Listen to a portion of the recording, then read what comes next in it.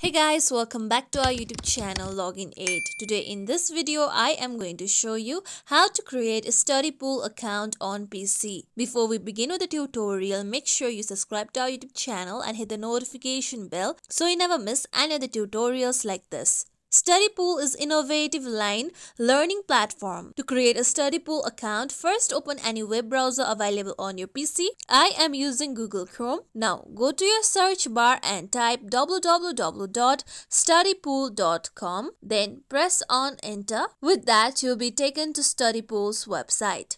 Now here you can see sign up option at top right section of the website. Click on sign up.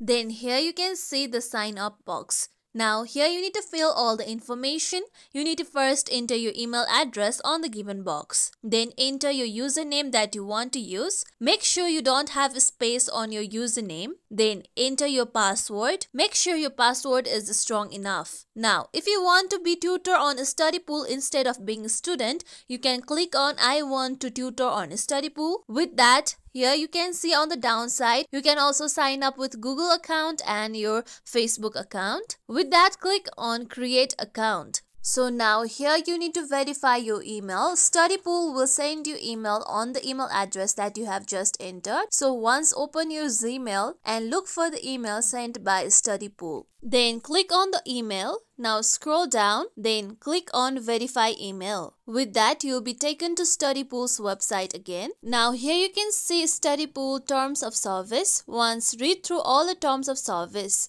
Then click on the box stating by clicking this checkbox you agree to Studypool's terms of service. Then click on I agree. With that, here you need to finalize your account. Now, here you need to enter your school on the given box. Now, here you can choose your avatar that is provided by Studypool or if you want to upload a picture you can click on upload. With that click on continue. Now here you can view through how studypool actually works. After viewing through all the information click on continue at the downside. Now here you can see your featured documents. Now click on done at the downside. With that, your account will be successfully created. This is how we can create a Studypool's account on PC. This is it for tutorial everyone. Hope this tutorial was helpful to you all. If you liked this tutorial, make sure you like, share, subscribe to our YouTube channel for more tutorials like this. Thank you for watching.